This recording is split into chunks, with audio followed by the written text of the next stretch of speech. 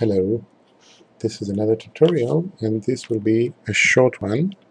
I'm going to show you um, the pen tool, but in this case we are going to use, instead of creating a path and convert it to a mask, we will use the pen tool and create a shape. A shape which is much easier to edit after you close the shape and create it, and so let's go to a new layer on top of the base body. This is the base fuselage body. Create it. And I will also, first I'm not going to clip it, I want to see the, the pen. So let's, first in the options toolbar you can select the path, select a shape. So, and make sure you eyedrop the color that you want. It's always possible to do it later, but let's do it. So click the pen and start uh, shaping it. Again, if I want to move the anchor point, I will use the spacebar while moving, pressing the left mouse button. And this is one, and this is another one. As you can see, I didn't succeed in the first run, so let's continue, and I'll close the shape and press the enter button. And so, instead of going to the paths layer menu and select it and edit, just go in the same, while in the same layer, pick the direct edit tool and click on the shape. So now that we can we can move the anchor points and uh, design the curves as how we like it and uh, let's see. Now to see it better I'm going to clip layer now and also going to the blending mode and select multiply which is the best for showing what's beneath in the layer. So still not happy with it.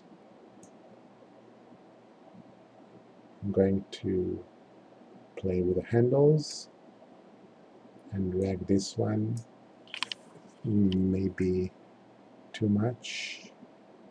As you can see this part is almost going as a tangent to the bottom line of the, the fuselage.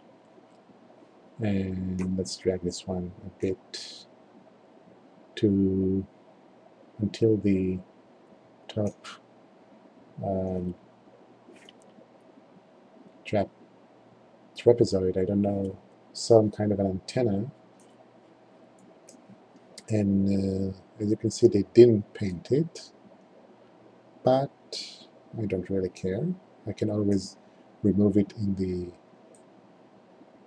masking uh, process. So yeah, that looks nice. Okay, so press the enter. Also save the file.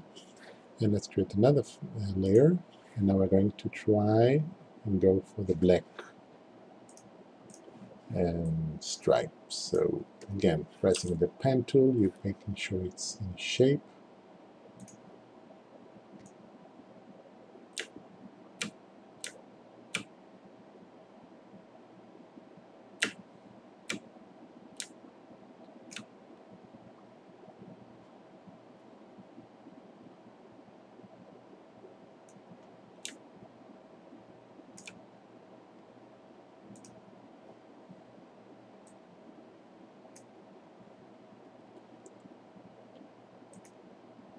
Okay, so first let's double click and change the color.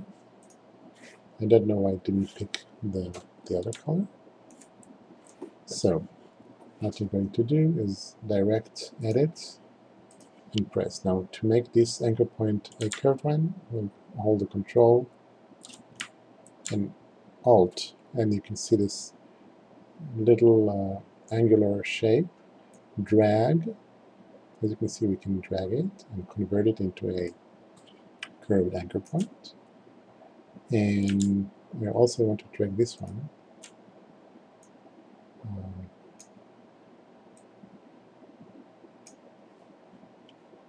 and now we can drag this one much to the back. As you can see, I didn't even close the shape, so I'm going to press the control and close it. Again, going back to direct axis and move this one until we think it's done. Maybe I dragged it too much. Again, this one should be very thin. Obviously, this is not going to be perfect one, but you get the idea. This one is going to be to the back.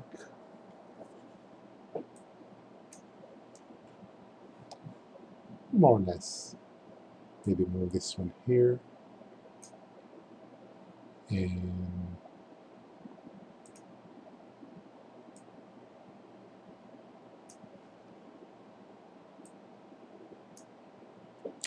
yeah, again, change into multiply, save.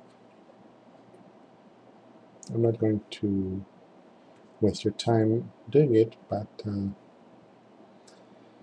this is it. Now, uh, we are going to go for another tip, which has nothing to do with the pen tool, but with the masking when using, uh, for example, when you want to create three um, consecutive or continuous stripes with various colors. So uh, let's create something. It doesn't have to be the pen tool, I'm not just going to do it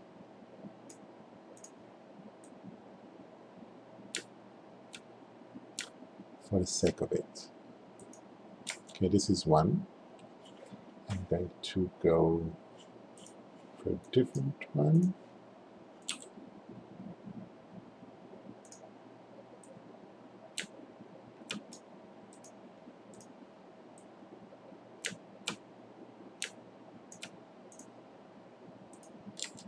And this will be a different color. Let's go for red. No, let's go for light blue. And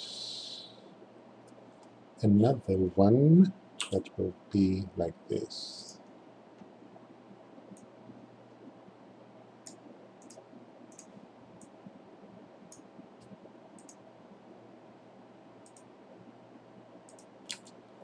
And I'm going to give this one a different, maybe yellow color.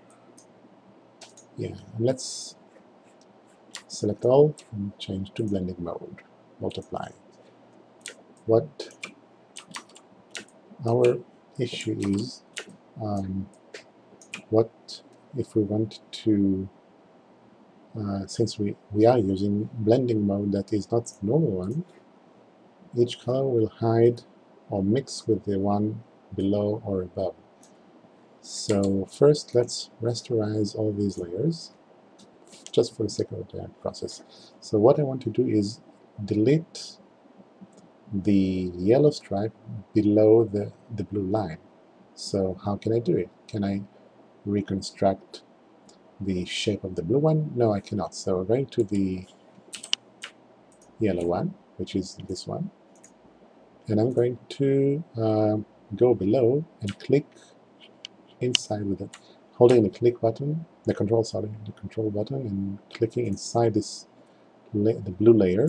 I'm going into the yellow layer, and either using the erase tool or clicking the masking tool and inverting it, or using the I don't remember the shortcut to create an um, the inverted action, and going to the red one, and I want to hide the red below the yellow. So I'm going to hold the click inside, control click inside the yellow one, and erase the red layer.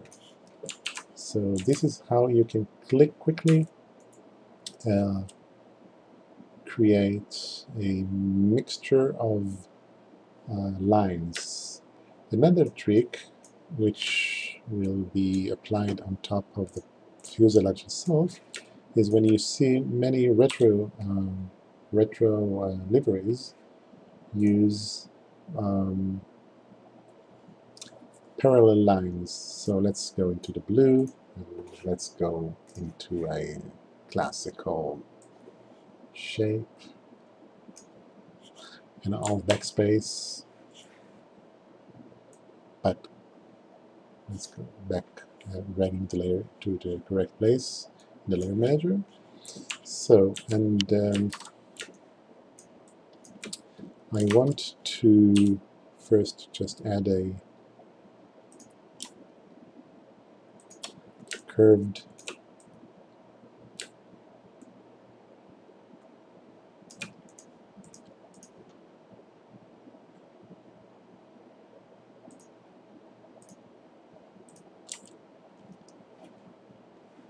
front line so that uh, that's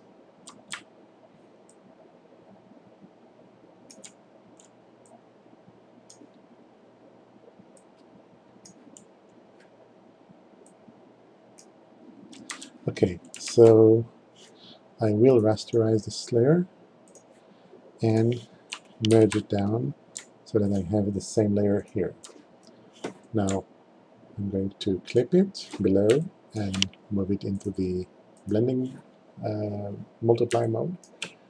What I want to do now is actually copy this line twice and change the color. So I'm going to Control J to duplicate and move this line more or less like this. It doesn't have to be exact now, and I'm going to change the color. So I'm going to control click inside it to uh, load the mask and on backspace. Control D to unload the mask and now I want to uh, have a um, the red line right below the, the blue one. So how do I match it? It's not exact and can never match a good match using the move and so the reason is the, the shortest shortest and easiest way to do this is go into the the blue one control control click inside and now we have the mask selected selecting the blue one go back to the red and erase. So if you erase the red line will not go above the blue one. And again, let's create another copy, move it, and this one we're going to give it a yellow, since we already yellow. Let's just sample this one for the sake of it, and and backspace. So uh, what I want to do is go to the red one, click inside, go back to the yellow and erase everything that's in it. So you don't have overlapping layers.